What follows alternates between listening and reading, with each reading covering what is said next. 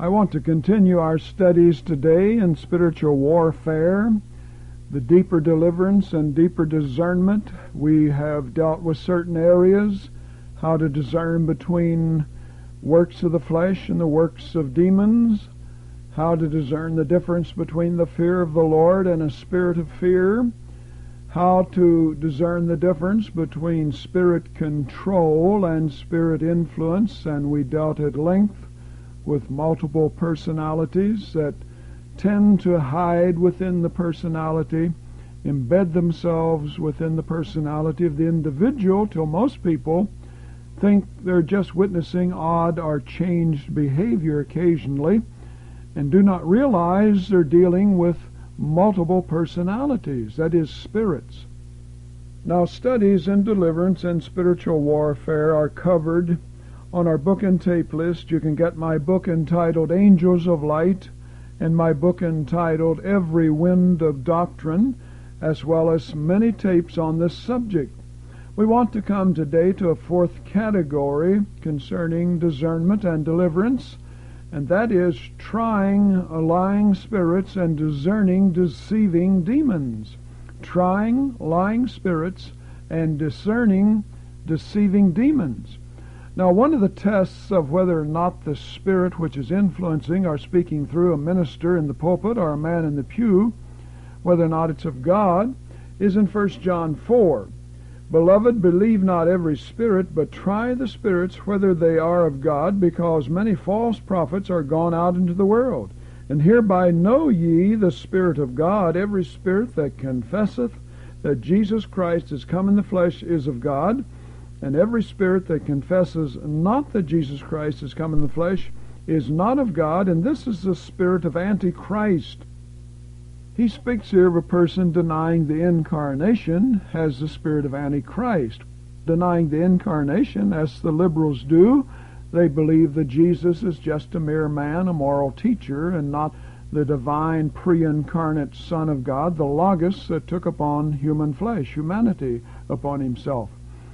Now, although this test is sometimes valid, it should be kept in mind it's only one of several tests. I give others in my book entitled An Introduction to Old Testament Prophets, which is on the book and tape list, and then I give other tests on our tapes on spiritual warfare and deliverance. But the thing is, what do you do when you encounter a lying spirit? You see, the first step in deliverance is to know when and if a spirit is lying on any fact, whether it's the blood atonement or incarnation here in 1 John 4 or whatever. You know, it seems never to occur to some people if they ask a lying spirit a question that requires a yes or no answer that the spirit will often lie. As his name is, so is he.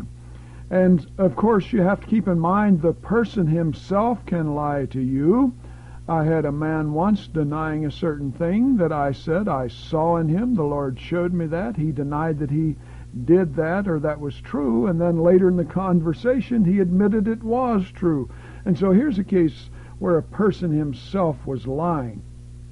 Now what we need to see here in 1 John 4 is that this is one of the tests that is sometimes employed in a deliverance session by some people. I've seldom employed it, but what John is speaking of here are not invisible spirits that you address when you're in a deliverance session, but he speaks of ministers, false prophets, and false teachers who are teaching error or heresy concerning the doctrine of Christ. Now that's what he calls them here in 1 John 4, 1 to 6. False prophets who have the spirit of Antichrist. He speaks of people, ministers, people, not invisible spirits. And the point is, those who speak and teach are being influenced by some spirit, and it's either the Holy Spirit or some other spirit, the spirit of Antichrist. And so John is in effect saying a man's doctrine will reveal its source. And some of the same men who teach the Antichrist doctrine of Jesus becoming a literal sinner on the cross and went to hell and was subject to the devil, the devil was his master for three days, that he had to be born again and justified. He was born again in hell. Those who teach that heresy, that Jesus became a literal sinner and therefore his blood was sinful, they will employ the 1 John 4 test when they engage in a deliverance session trying to set people free. So you could not use the 1 John 4 test against them. That is, it would not work with them. They have an erroneous doctrine concerning Christ, and that's what John is talking about. A person who doesn't have the true doctrine of Christ, you see, has the spirit of Antichrist. And so John here is dealing with a particular heresy concerning the doctrine of Christ, Gnosticism, which some mixed with Christianity, and the doctrine ran something like this that Jesus only appeared to be a human, and he only appeared to die on the cross, but like the angel of the Lord who appeared occasionally in the Old Testament, it was just a temporary manifestation of deity, and it was not really a true and full humanity. Well, you'll still find a few today teaching and believing that. And of course, we've said demons can lie. And so the test is valid only when a false prophet denies that Jesus came in the flesh, denies the incarnation, as the liberals do, telling us, well, God just adopted the man called Jesus as his son. And then remember, demons can lie. Now, why would a demon lie on the basis of 1 John 4? You know, why would a demon deny that Jesus came in the flesh? That would give him away. Well, demons hate to admit the truth of the blood atonement or the incarnation, for example. They hate it with such a passion that sometimes they will deny it in that sense. They know it's true. We're told in James chapter 2 that the devils believe in God, but that doesn't save them. In other words, they know God exists even if the atheists try to deny him.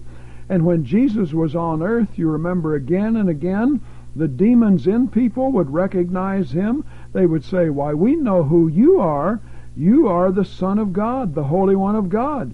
And so if a demon tells the truth on the basis of the first John 4 test, where you're supposed to ask the demon, Do you believe that Jesus came in the flesh? If they tell the truth, they will admit that he did. And in telling the truth, they're lying to you because you see the average person is going to think, well, he's all right or she's all right because they passed the test of 1 John 4. No, in this case, the demon is telling the truth what they really believe. They believe in God. They believe in the incarnation. They believe in the blood atonement as far as the reality of it. But in telling the truth, the implication is they're going to be deceiving you by telling the truth. They're lying to you in that sense. In telling the truth, they're lying. The test of 1 John 4 is only valid if you're talking to a demon through someone if they deny he came in the flesh. Then you know it's a demon. But if the demon who believes in the incarnation tells the truth, he will pass the 1 John 4 test.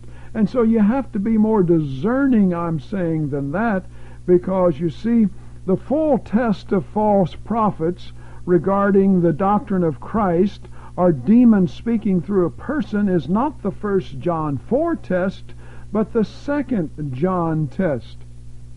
Now in 2 John, the first John 4 test is repeated in verse 7. For many deceivers are entered into the world who confess not that Jesus Christ is come in the flesh. They deny the incarnation. This is a deceiver and an antichrist. But then in verses 9 to 11, he gives us the full doctrine of Christ test. You see, the test of liberalism, or the Gnostic test, is in 1 John 4 and verse 7 of 2 John, which is the identical test given in 1 John 4. But the full doctrine of Christ test that covers the whole doctrine of Christ is in verses 9 to 11. Whoso transgresseth and abideth not in the doctrine of Christ has not God. Now, the doctrine of Christ is everything from the prophecies that foretell his coming to the incarnation, the virgin birth, the blood atonement, his ministry, the name of Jesus, the resurrection of Jesus, the second advent of Jesus, the deity of Jesus, the whole truth, our doctrine of Christ. He says if he doesn't have the whole doctrine of Christ, he has not God. Now, he that abides in the doctrine of Christ, that is whatever the Bible teaches about Christ, he has both the Father and the Son. Now, if any comes to you and brings not this doctrine, like the JDS teachers who say Jesus went to hell and had to be born again, which is not in the Word of God, but in their depraved imaginations, if any come to you and bring not the doctrine of Christ, do not receive him into your house, neither bid him Godspeed. For he that biddeth him Godspeed, he that welcomes him, is partaker with his evil deeds. And so there is the full doctrine of Christ test in 2 John, not 1 John, because remember, a person can lie and a demon can lie. In fact, if the demon tells the truth, remember then a lot of people will be deluded in thinking the person through whom the Spirit is speaking is all right and he's orthodox because the demons, if they tell the truth, will admit the blood atonement and will admit the incarnation. But they hate it so much, sometimes they will deny the truth of it, even though they give themselves away thereby. Like I've dealt with people when you start in a deliverance session, the demons will start to speak saying, I hate the blood. You'll be saying the blood of Jesus against this spirit of infirmity. The demon will begin to speak and say, I hate the blood. I hate the blood. Shut up. Don't mention the blood. Do you believe the blood has power over you? Yes, I do, but I don't want to hear it. And that sort of thing. The demon is speaking. Well, then, what is the solution in dealing with these confusing situations where you're trying to discern is this a lying spirit or is the person telling the truth or is this a deceiving demon? Well, the solution generally is to use other tests because remember, people as well as demons can lie.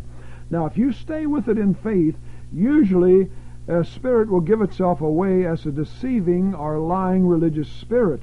Generally, they will come forth with something that's out of line with the Word of God. They will reveal thereby that they are the spirit of Antichrist, like the Jesus died spiritually teaching that's going around charismatic circles today. Or they will sometimes use the plural pronoun when speaking to you, like, well, we've been believing this way for a long time, and I don't want to change now. Now, some people don't catch that subtle slipping in there of the we, like the man who had the legion of demons. Jesus, when he asked, What's your name? he says, My name is Legion, and we are many. And sometimes when you're dealing with people, they'll say, Why don't you leave us alone? We're not bothering you.